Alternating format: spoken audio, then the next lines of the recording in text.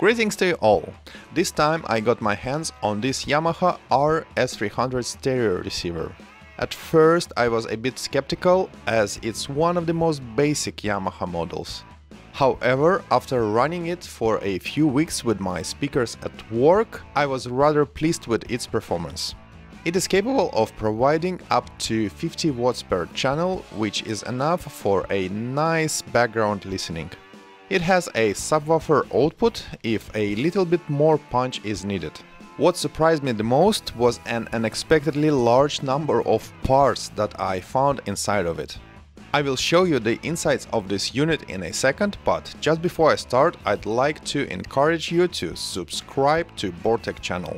It is very important as your subscriptions are helping me to get my hands on different units like this Yamaha receiver.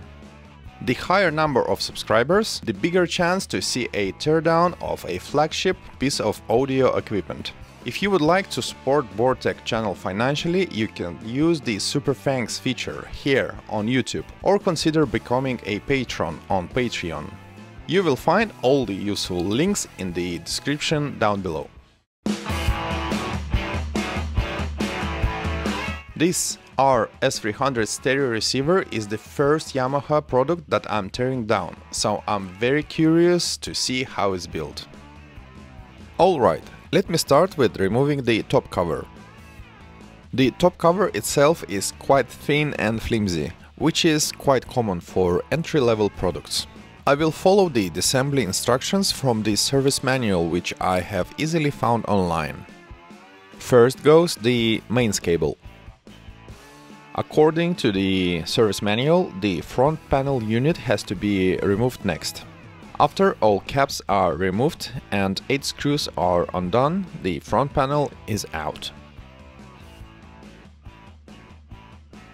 I will wash all the chassis parts that I remove with soap and hot water.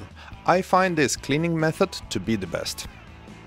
Next, I have to disconnect all the cables linking the sub-chassis unit with the rest of the components.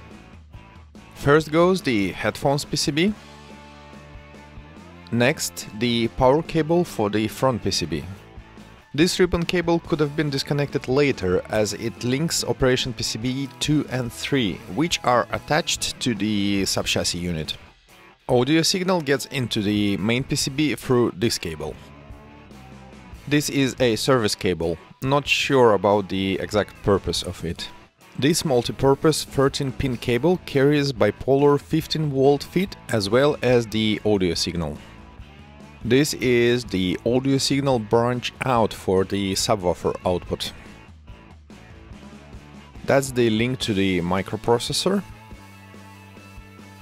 Input selector knob. Volume control knob and the last ribbon cable goes to the front PCB. After all the cables are disconnected, all is left is to undo three screws and the sub-chassis unit is successfully extracted. The sub-chassis unit consists of a lot of different elements. I will start by removing operation PCB2, which accommodates the pure direct switch. Just have to remember to disconnect the cable which links it with a tiny LED indicator PCB. After the audio signal leaves the preamplifier section, it passes through this board on the way to the power amplifier.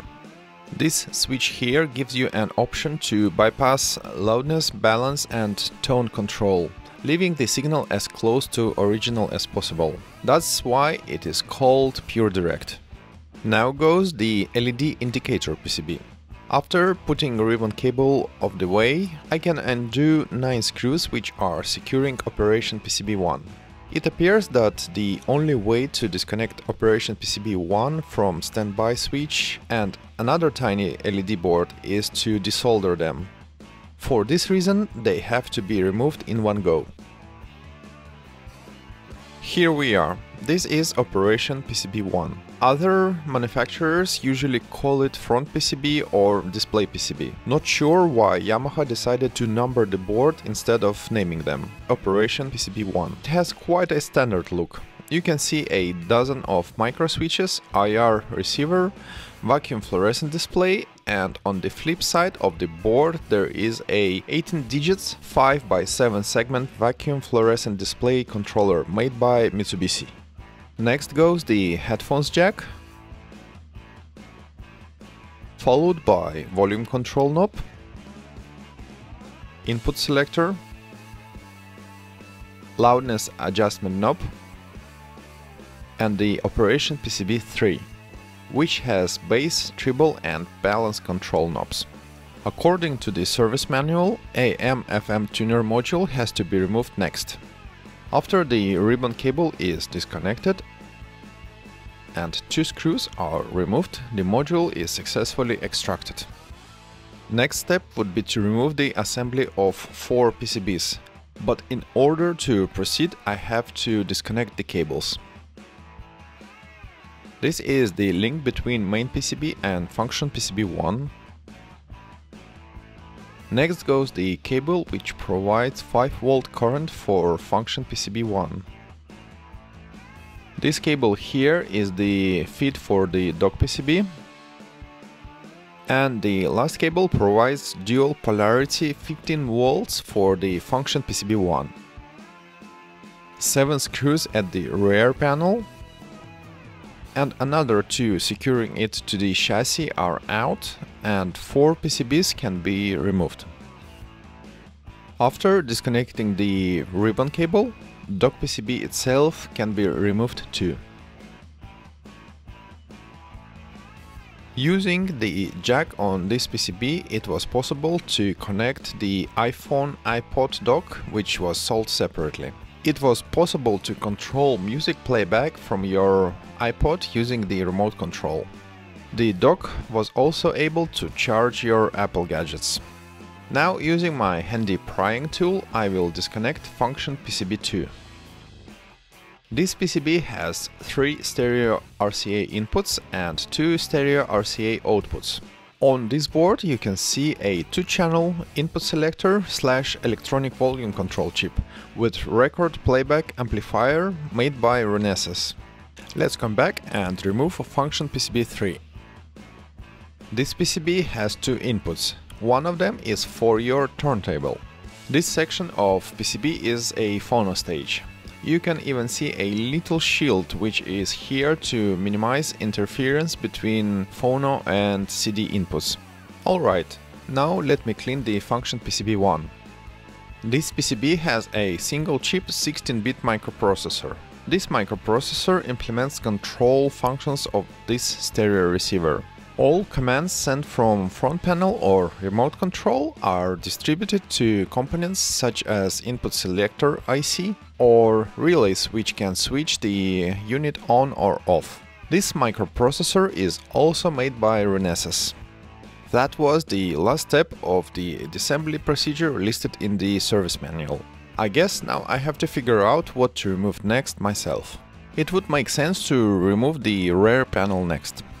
11 screws are out and the panel is removed too. Next I will extract the transformer. Cables have to be disconnected first. Here goes the main transformer feed and this cable goes to the main PCB. This is a dedicated transformer winding to feed the gadget charger. And here is the feed for the operation PCB 13 which feeds the preamplifier section. Great, all cables are now unplugged. I will undo 4 screws and extract the transformer. Next I will remove two power PCBs. One last cable linking them with the main PCB is now unplugged. Two screws are undone and both PCBs are now extracted. This Yamaha stereo receiver has two power PCBs. One of them provides standby power and feeds the microprocessor, and the other one supplies the current for the preamplifier section. Finally, the main PCB can be extracted too. After undoing 9 screws, the whole main PCB and the heatsink can be removed. I will have a look at it in a second, but first I will remove the plastic PCB frame. Transformer base PCB support bracket, all 4 feet and the inspection hatch. It is a great solution from Yamaha engineers that allows you to inspect or fix the main PCB without disassembling the whole unit. To get a bit of a better view at the main PCB, I will remove this board and the heatsink.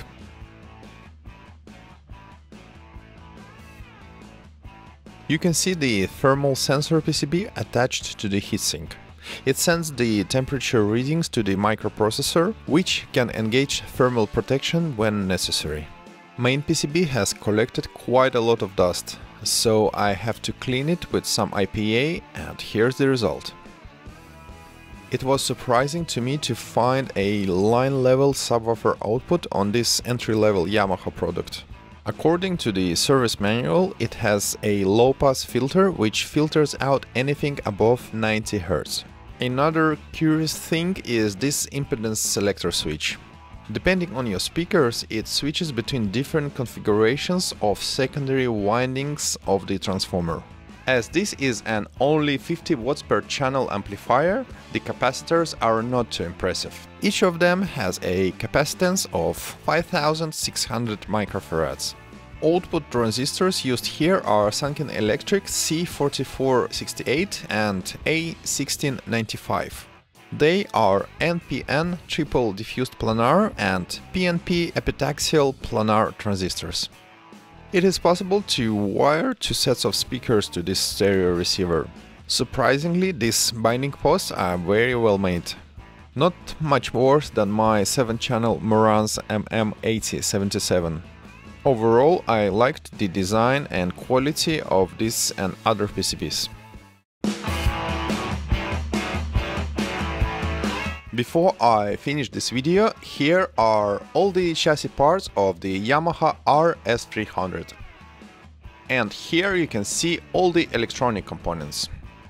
I was really surprised to see so many separate PCBs. Other similar class units would have a power PCB, front PCB, transformer and maybe a few more smaller boards. But this Yamaha has 19 of them.